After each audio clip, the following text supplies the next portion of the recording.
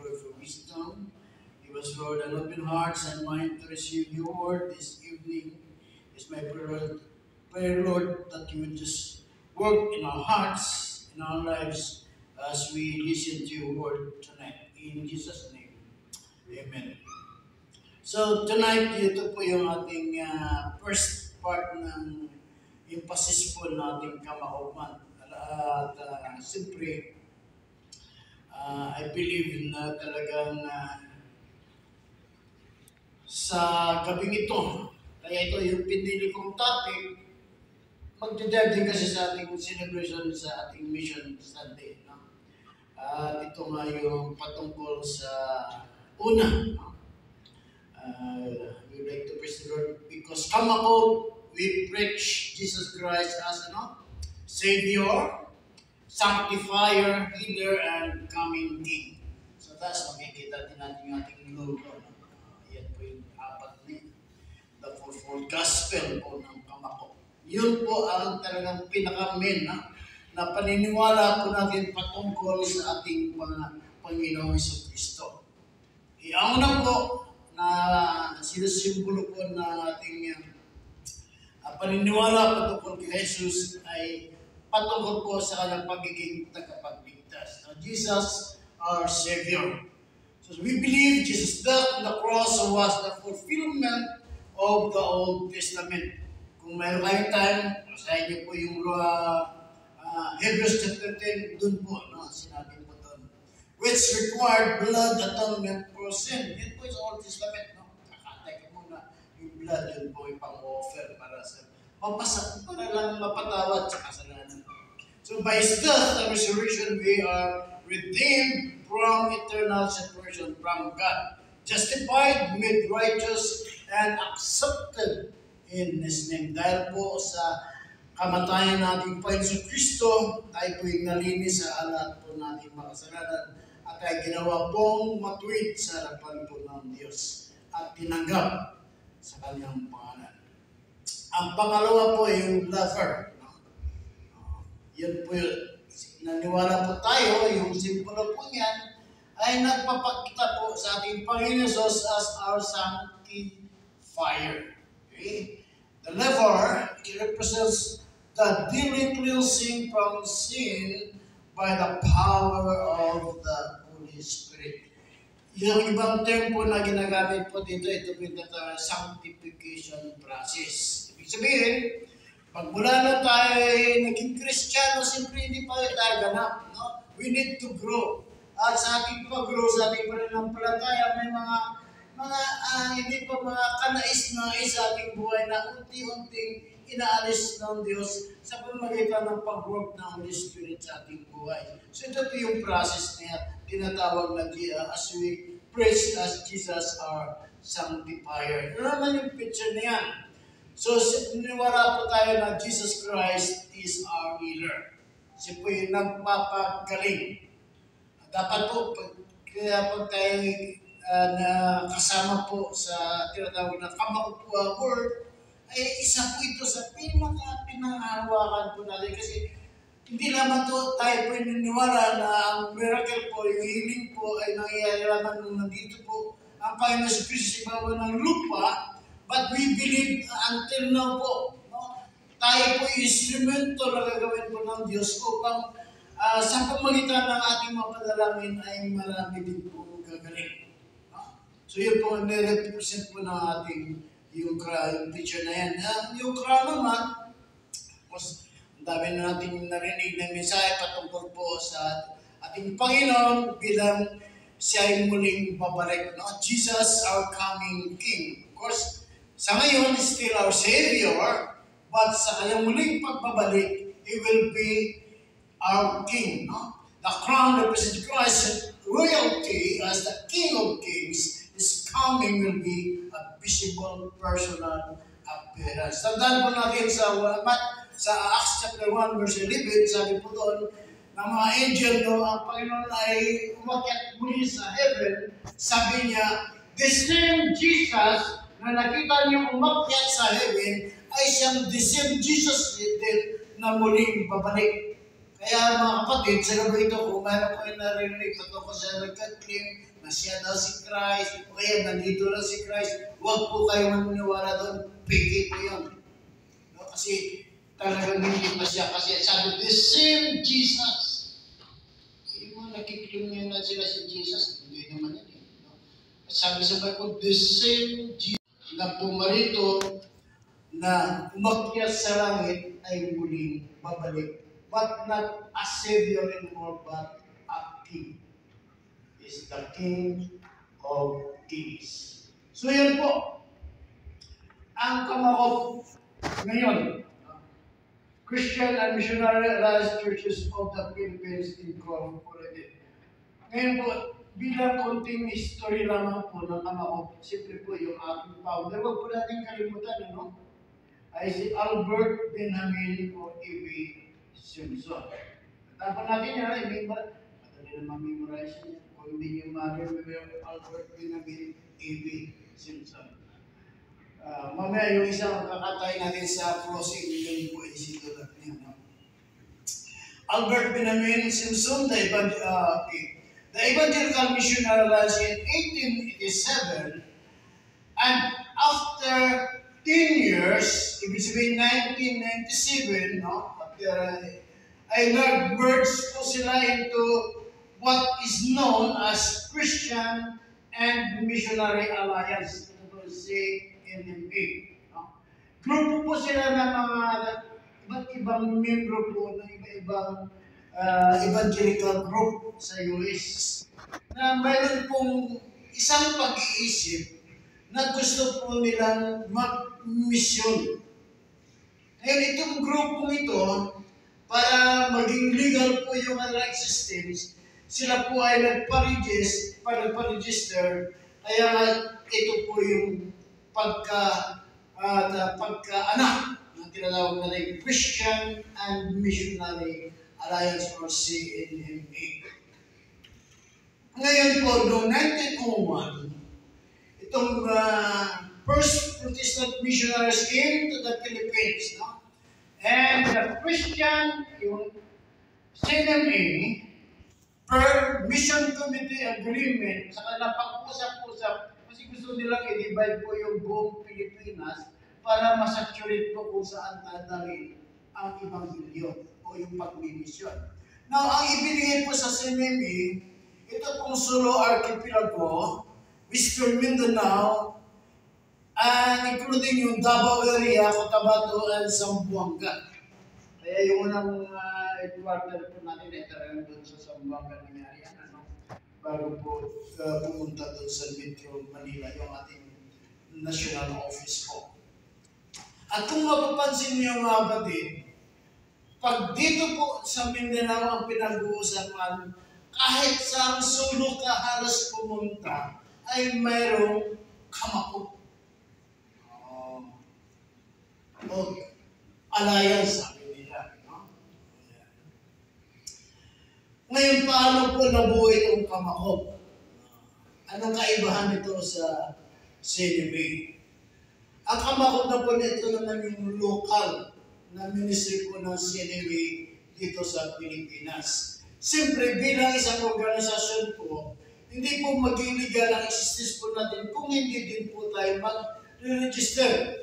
Kaya noong 1947, mayroon po 13 churches na nag-usap-usap na iparehistro po sa Security Census Commission o SEC yung ating grupo bilang kamakop. Kaya noong 1950, it was officially registered sa SEC. So from 1950 hanggang ngayon, 2022, ilang years na Kamakong Philippines incorporated. 50, ah, 50 plus 22 is 72. Kaya, this coming General Assembly, sa sunod pa na General Assembly ng Magsi, 75 na. No, um, Kamakong. Well, what is uh, Kamakop today? No? Ano uh, as of now, ayon po sa talaan po ng ating national office, meron na po tayong 3,387 churches. Kung hindi po nagbawa at, at uh, tayo at ang uh, religious group, no? Uh, evangelical group sa Pilipinas. With 4,948 pastors, 8 Bible schools, 137 OT centers. Tayo po, nagsimula na rin natin OT. No? And out of these 137 uh, centers, mayroon po 1,224 OT students. Mayroon din po tayong tinatawag na 7,176 small groups. Uh, sana po, uh, maisama po kayo doon sa na muling bubuhay kasi ngayon i-revive na yung mga dating small groups po. No? So if you, uh, baka sakali po kayo po ay ma-recruit. Kasi we would like to encourage no? uh, lahat po ng member po ng uh, church na ito ay maging kabahagi po ng small groups. Of course, mayroon na po tayong 50 na mga missionaries uh, na ito po ay nagkalat po sa 18 countries. So yan po, uh, ating excuse me, mayroon na po ba? Mayroon po tayong kamakong vision and vision this, uh, this evening. Gusto ko mag-participate tayo, no? Uh, i-recite po natin ito. Kasi Importante kasi ito. No, kahit sa aming workers meeting, pag nag pag nag-meeting po kami, regular, uh, every month po yan, medical regular uh, meeting po, nire-recite po namin ito. Mas maganda po kung sarang memorize no, memorize ito kaya minsan hindi mo naman kasi lagi-lagang eh, binabanggit, kaya nakakalimutan mo. Yung issues po ay alam-alam po natin. So, uh, pag sinabi ko mamaya ko, basahin ko natin ng sabay-sabay, okay ba? Kasi ito po yung ating mission as Kamakop. No? So, Kamakop, uh, Kamakop mission and vision. Kaya ito po yung ating mission. Sabay-sabay po, basahin ko natin. Go, okay. We exist to transform communities and to aggressively disciple the nations by engaging in holistic development ministries and by planting churches that proclaim Jesus Christ, Jesus Christ as Savior, Savior Sanctifier, Healer, and Coming King. Ganda, no? Ano naman po yung ating vision? Bishop pa na, basahin din natin sabay-sabay. Okay, go. That, that we vision transform communities, communities with vision, mission-driven Christian congregations here and abroad, abroad for the glory of God. Glory of God. Lahat po ng yan aral ay para po sa kalulatian po ng ating Panginoong sa ngayon po, ito po yung ating present uh, national leadership po natin. Siyempre, pinangungunahan po yan ng ating Bishop uh, Eduardo Cais as uh, President and Executive Bishop po. Ating Vice President naman ay si Bishop Joel Libab. No? Siya po yung Vice President po. At mayroon po tayong National Executive Ministers, Dr. Jose Capirig, siya naman yung Judge po sa Division of Church Ministries, Dr. Arabel Aragon, uh, yan, si, kilala po niyo si Ma'am Beth Aragon, sa yung wife ng dating pastor din dito noon, yung kapatid niya po si Dr. Av uh, Avril Aragon, siya naman yung head ng Division of Education. Course, kasama pa rin po nila sa Division of Mission, uh, mission si Reverend uh, Roland Don Dulacan, i-speakin po natin siya dito sa isang Thanksgiving celebration po natin. Of course, sa uh, Division of Finance and Stewardship, yung ating pong uh, uh, Vice President po, uh, Bishop Joel Nibab. So yan po sila, ang uh, mga national uh, ministers po natin na nagsiserve to uh, to see and to run the affairs of Kamakop as a whole. So, sino ba itong uh, Kamakop? Pag iba kasi merong maling kaisipan, pag sinabi nila kaya tanggalin na word Kamakop, akala nila yung national office. Pero pag sinabi natin Kamakop, tayo yun. Bahagi lamang po yung ating mga national officers lahat po ng mga ministers, lahat ng opisyalis at members ng church, tayo po yung kamakot as a whole. No? Kaya sabihin mo sa katabi mo, kapak kamakot ka. uh, hindi pala yung opisina.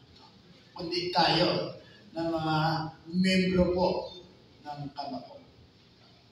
So we are a Christian, we are a Christian society committed to obeying the Great Commission. So tayo po, well, thank you. Pagdating na lang may ihado. Sorry lang talaga, namamalata tayo.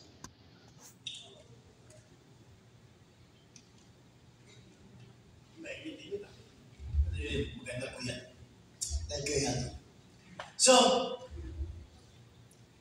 tayo po ay committed saan po? In obeying the Great Commission. When, kung sinabi po natin, we're a Christian society committed to obey the Great Commission, ibig po sabihin yung bawat isa po sa atin na nandito sa gabi nito.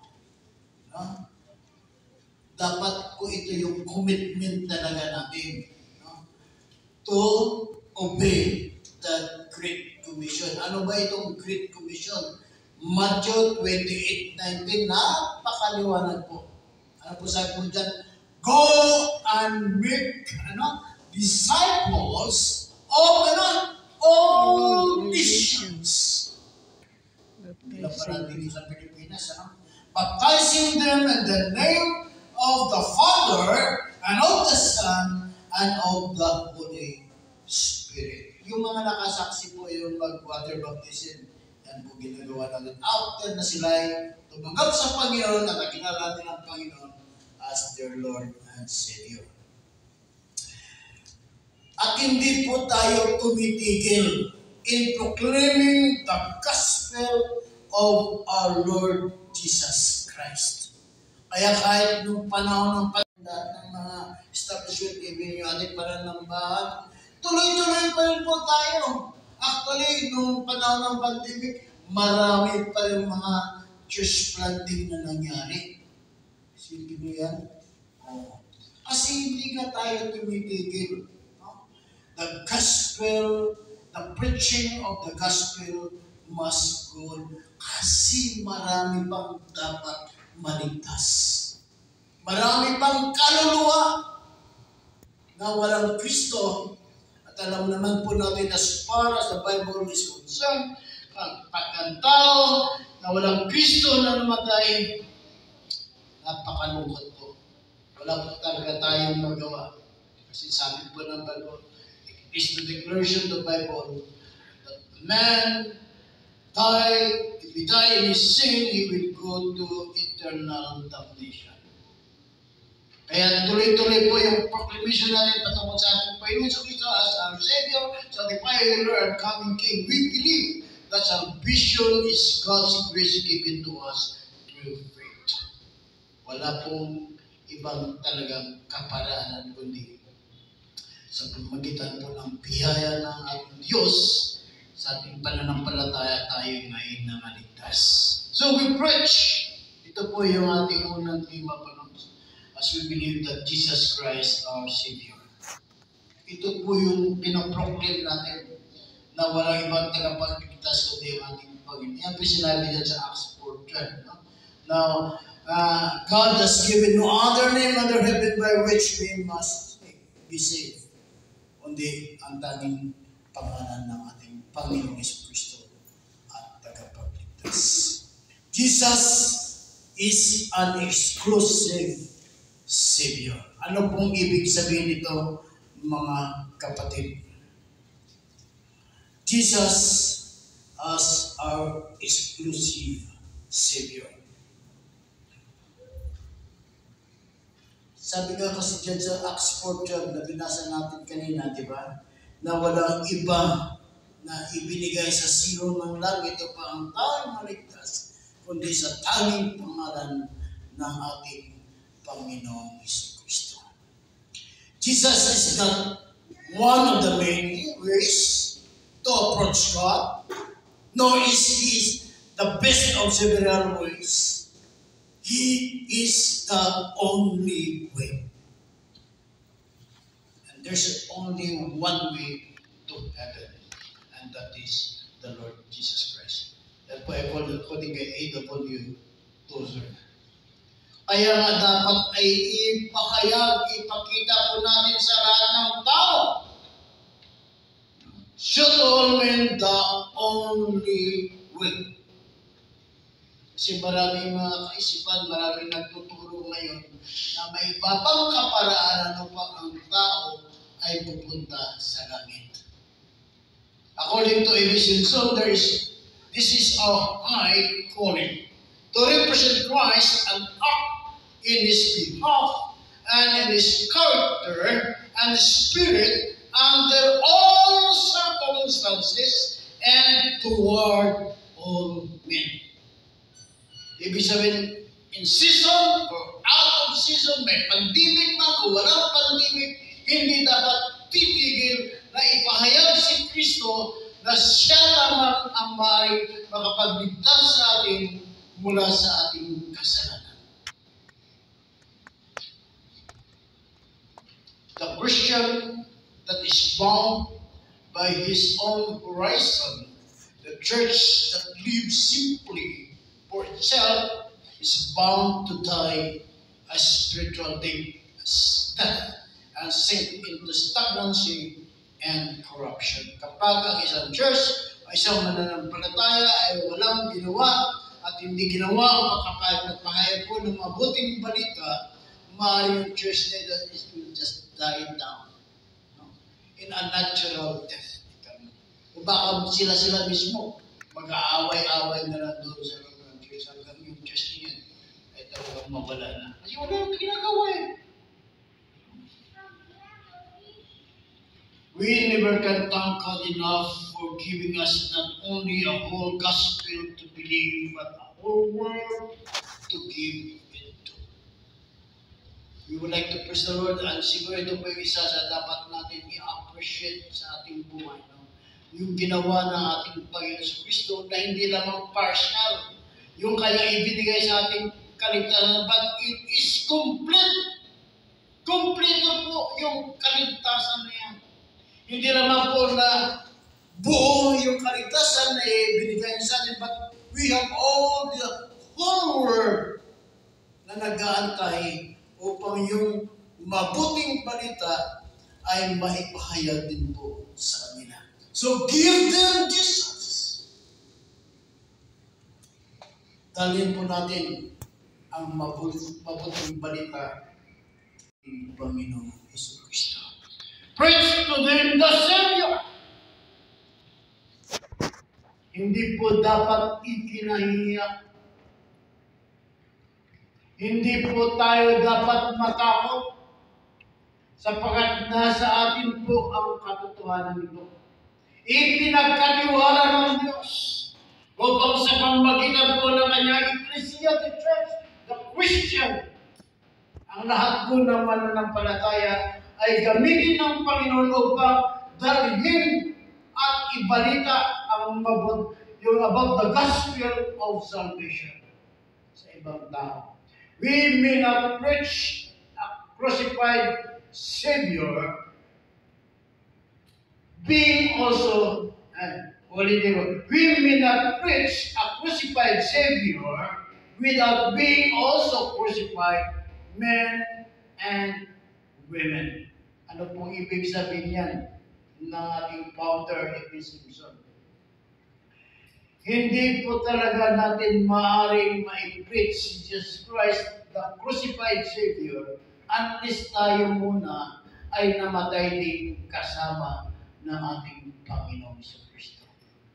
Ibig sabihin po dito mga kapatid, yung buhay po natin ay nakalaan din sa paglilingkod upang ang mabuting balita ay maidala po sa mga taong nangangailangan. It is not enough to wear an ornamental cross as a pretty decoration. Parang yung pagiging buhay kristyano ba natin eh, parang na lang isang dekorasyon. No? Ay, salamat ako kristyano na. Tuwa na ako at pupunta na sa langit. Parang gano'n lang. No? Napakababaw ng pagiging kristyano. Parang isang pretty decoration. But the cross that Paul speaks about was burned into his very flesh, was burned into his being, and only the Holy Spirit can burn the true cross into our innermost life. Kung wala po yung banal na Espiritu na kikilos po sa ating buhay, at isubmit po natin yung ating buhay sa pagkilos sa kapangyarihan po ng banal na Espiritu, ay hindi po tayo magagamit upang ang ating tagapagligtas ay maipahayag sa ibang tao.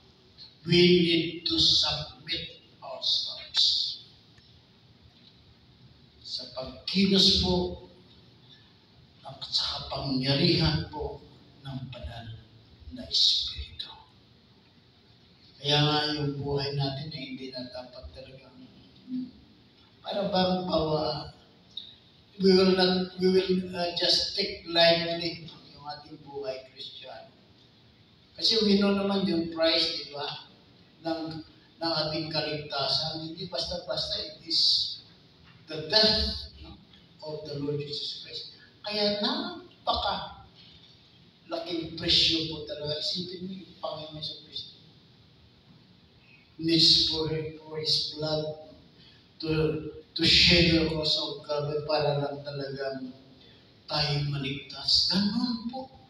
Tayo ka, mahal ng Diyos. At ganun po sa seryoso po as far as our salvation is concerned. Kaya dapat po tuloy-tuloy na i-preach po natin ang Panginoon as our Savior. Because Jesus is our comprehensive Savior. Ano po ang ibig sabihin nito mga kapatid niya?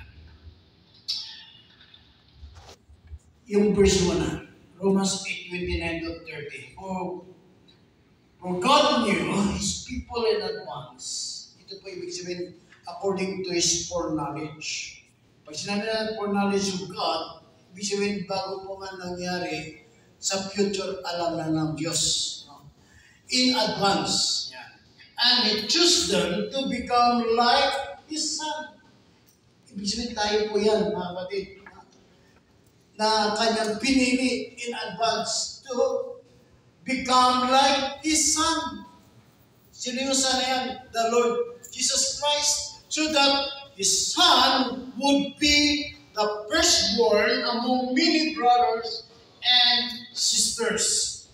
Verse 30, and heaven them to come to Him, and having called them, He gave them right standing with Himself kaya positionally, sabi nga ng 1 Corinthians, uh, 2 Corinthians 5.17, we are now new creation.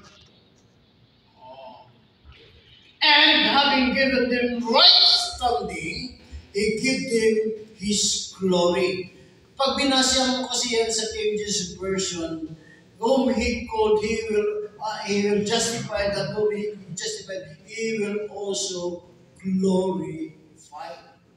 Ibig sabihin talagang we will share the glory of God not only here on earth but even in heaven with His hand. Isa lang naman kasi ang ang dalawang bugtong na ng Diyos, di ba? Tayo ay binigyan naman ng karapatan na maging anak ng Diyos. So yun po, ang ginawa ng Diyos. Kaya na, ibig sabihin, napakaganda talaga ng plano ng Diyos sa, ng kaligtasan sa atin. Know?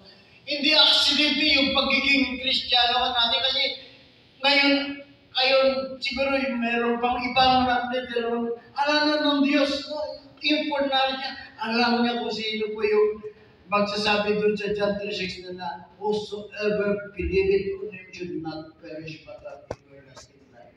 Alam niya na kung sino yung, kasi para sa kanya, sabi ko nga, ang nakarapag press ko, presente ang lahat. Kasi sa yung Wednesday meditation para yun. Wala sa kanya yung past, wala sa kanya yung future, not present. Nakikita niya, alam niya na nangyayari. Parang ganun ang kanya kapangyarihan.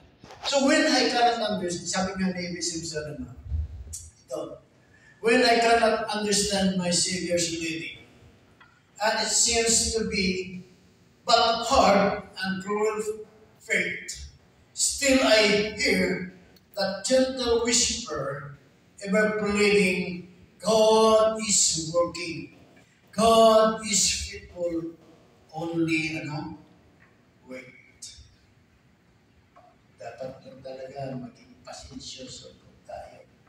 Sa totoo naman talaga, hindi naman talaga yung buhay ng Kristiyano. Siguro kayo naman naka-experience, di ba? Nasa buhay po natin, we experience yung sinabi natin good times and bad times. Mayroon mga pagsubok, problems na dumarating po sa ating buhay.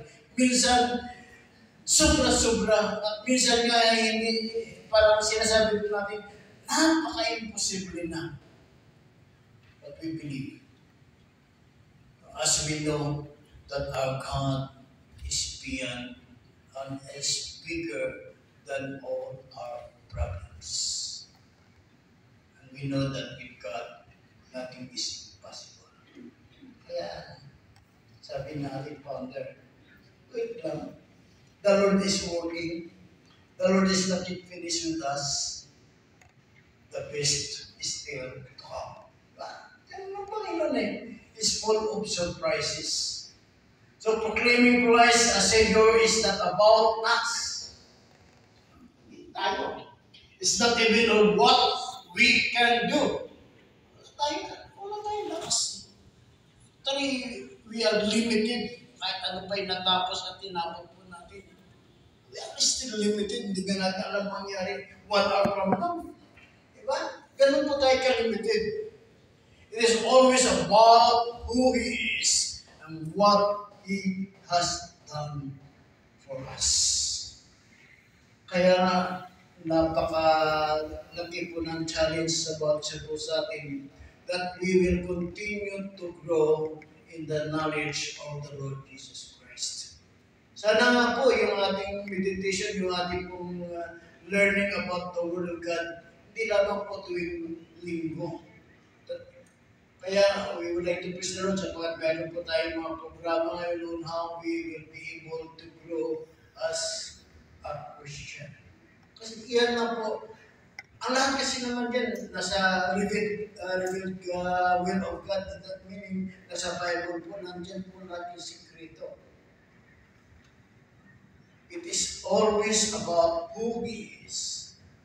Mas lalo kasi natin nakilala siya, mas lalo tumitibay yung ating pananampalataya. At kung ano po yung kanyang ginawa para sa atin. Sabi ng Bible, if God did not spare His only begotten Son, meaning the Lord Jesus Christ, and He gave it to us, hindi ba niya kayang ibigay ang lahat ng bagay kalahit ng ating Panginoon sa Kristo? So dapat po yung faith po natin ay magkaroon ng patungkol po sa Kanya at sa Kanyang mga So Jesus is a universal Savior. Ano po ibig sabihin nito mga kapatid? Mga kapatid? Ibig sabihin nito, covered na po yung lahat, lahat. Universally. no? Including or covering all or a whole collectively, a present or securing everywhere, covering. So ibig sabihin, sa lahat ng sulok ng daigdig, sa itaas man o sa lupa, ay kayang-kayang abutin ng kaligtasan ito. Kaya ito po yung mandate po sa atin that we will go and preach the gospel. Kasi kahit po saan po sila nariyan ng mga kapatid, kapag sila po'y nakarinig ng mabuting balita, darating po sa kanila ang kaligtasan. Ganun po. Kaya po tayo nagpapadala ng mga missionaries. Lokal man o sa ibang bansa. Kasi Jesus is a universal Savior. Ito po yung parang paborito po nating verse sa Bible. No? Sabi, tuloy naalala ko nung sinabi natin mga pastor, hindi daw dito makamemorize ay hindi pupunta sa langit. Memorize ba natin yung John 3.16? Amen. Amen? Amen. O kunti na yung pupunta sa langit. o sige na, sabay-sabay doon natin i-recite to yung John 3.16. Pag sabi ko po, uh, King James Version na lang. Ito kasi mayroon pa in, in, in uh, new, new like uh, translation siguro to. Uh, ibang uh, uh, version ito, ibang translation. Isa John 3.16 yung kuya kung saan yung memorize na version. Okay? Uh, sabi ko go, go, uh, memorize na John 3.16. Okay? John 3.16, go. For God so loved the world that he gave his only begotten Son, that whosoever believeth in him should not perish, but have eternal life. Punta tayo sa lalim lahat. Totoo naman yan, it's universal. The world, buong sanlibutan. Kaya nga yung gospel, yung mission natin, is for the whole world. His saving power is unbounded. Our God has boundless resources. The only limit is in us. Our asking, our thinking, our praying are too small. Our expectations are too limited.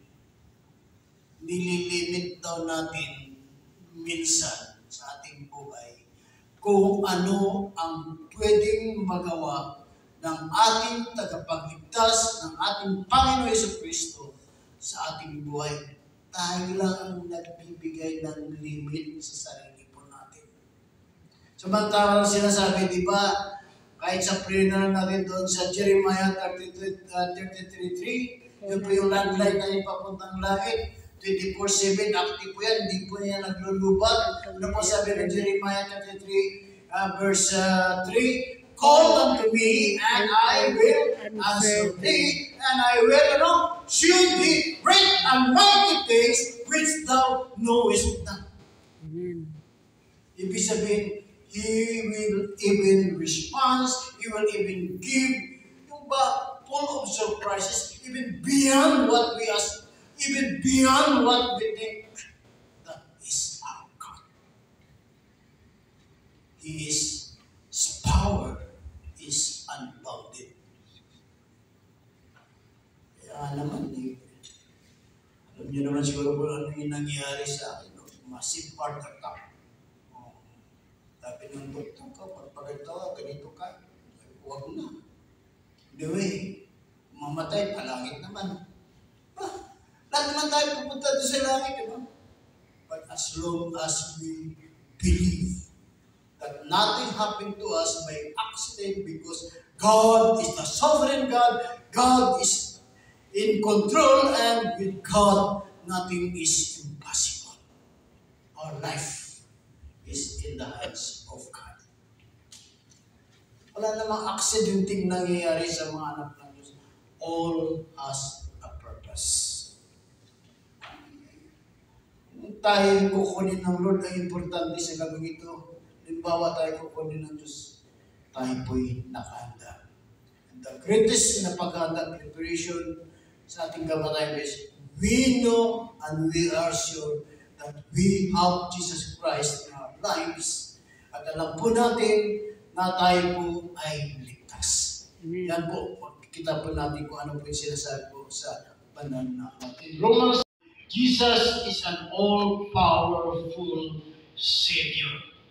Kasi sabi po dyan sa talatang yan, sa Romans 8, sinabi po dyan, sabi na po si Pablo sa kanyang sinulat, For I am convinced that neither death nor life, neither angels nor demons, neither the present or the future, nor any powers, neither height nor depth, nor anything else in all creation will be able to separate us from the love of God that is in Christ Jesus our Lord. Nothing can separate us from the love of God. We are secure 100%. Basta importante lang, tiyakin mo sa gabi ito na truly, totoong totoo talaga sa buhay mo na minsan sa iyong buhay ay sinabi mo sa Panginoon, Lord, I acknowledge that I am a sinner and I will accept you as my Lord and Savior. Kapag ginawa mo yan, mga kapatid, sabi po sa salita ng Diyos, hindi ko salita yan, hindi salita ng Pastor Sam, salita po ng Diyos, nothing can separate us from the love of God. Sa gabi ito, ang tanong, totoo bang tinanggap mo ang Panginoon as your Lord and Savior? Amen. Then, sabi sa banal na aklat, kung tinanggap mo siya ng totoo sa iyong buhay, nothing can separate us from the love of God. Sabi nga ng Panginoon sa John chapter 13, uh, 30, nothing or no one can pluck us out from the hands of God. Wala pong maaari pong makapag-alis sa atin sa kamay po ng Diyos. Because God is powerful God. And Jesus Christ is an all-powerful Savior. Sabi nga ni B. Simpson, at saka ito siguro yung challenge din sa atin sa gabi nito. Kasi sabi ni A.B. Simpson, yung ating founder, Once I tried to use him, now he uses me. Ang pagkakaintindi po ko, ko po sa sinabi ito ng ating founder, noong siya ay mga siguro bago pang Kristiyano, at siguro karanasan din po natin, malimit po, di ba, tayo pag tayo bagong Kristiyano pa, lahat, hingi tayo ng hingi sa Lord, gusto ko ito, Lord, Lord, Lord, para, para, para, para, sa, para gusto na gamitin yung Diyos para sa ating Puro nakasendo sa atin yung hinihingi kay Lord, di ba? Ganun. Lord, bless me, Lord. Ibigay mo to sa Lord. I pray, Lord, na ibigay mo. Mga ganun, no? Yan ang naisip ko sa sinabi nito na A.B. Simpson. But now, sabi He uses me. He learned to grow that yung pagkatawag sa kanya ng Panginoong Diyos ay hindi lamang to receive the benefits of being a child of God, but also that the Lord will use his life. And also this is, I believe, no, yung purpose ng Lord why He called all of us.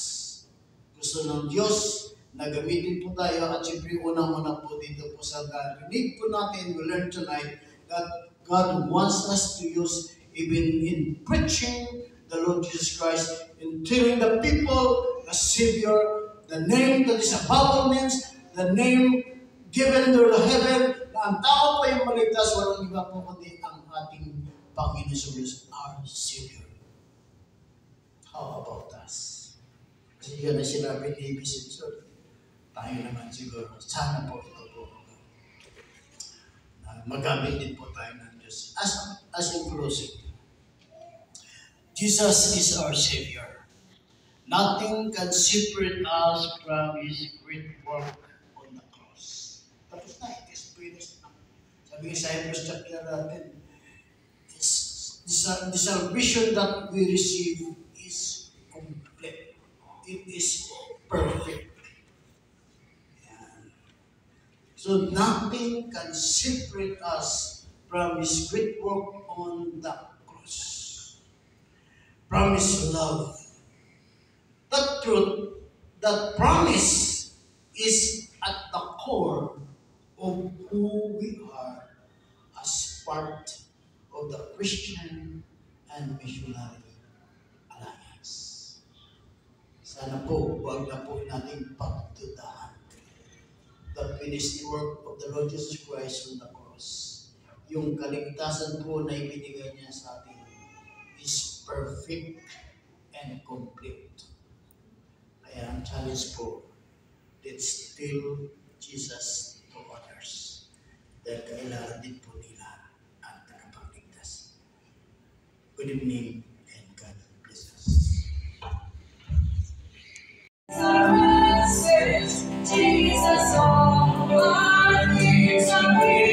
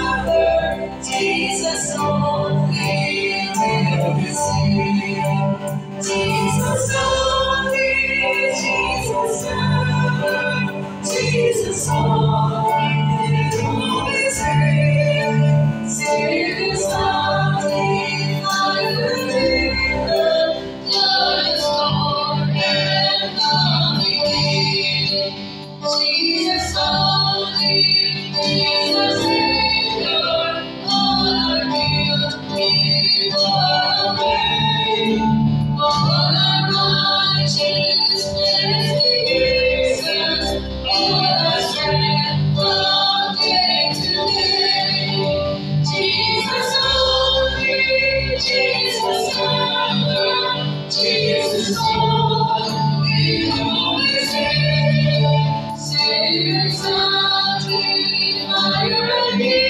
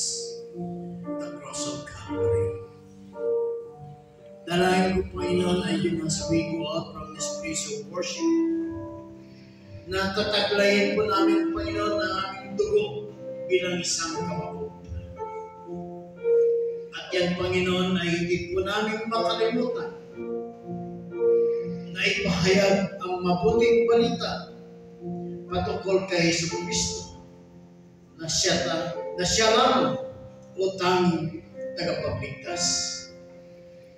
Lord, pagpalain mo po ang bawat isa po sa amin.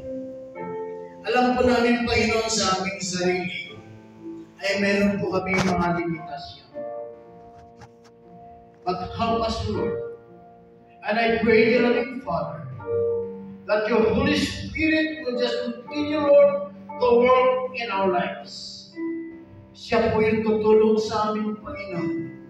Hindi lamang upang kami ay magamit mo, upang makapagpahayag ng mabuting balita, but also, Lord, to lead us to the right person na handa-handa na po upang tanggapin ng iyong mga salita.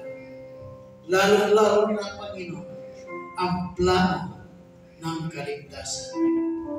We learn tonight, O God, sapagkat wala na pong ibang pwede na maaaring makapagligtas sa isang tao maliban sa iyong buktong na anak na si Jesus sa aming tagapagligtas na ang Panginoong Heso Kristo.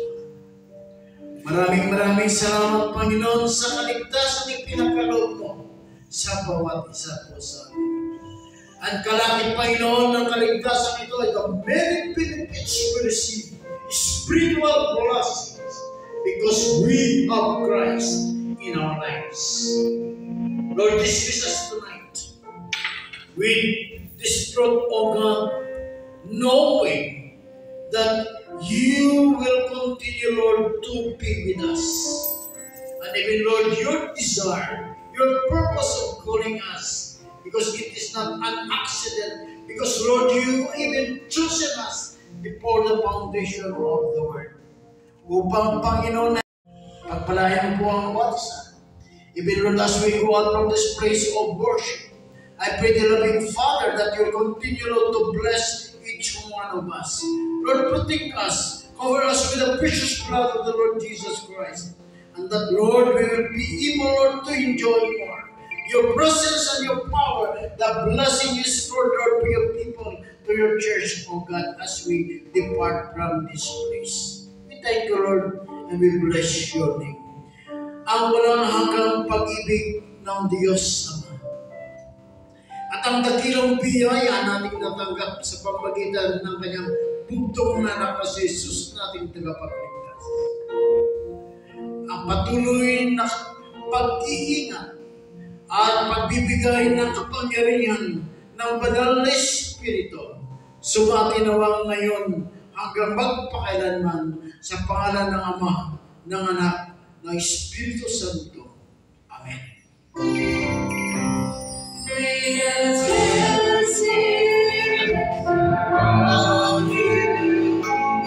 the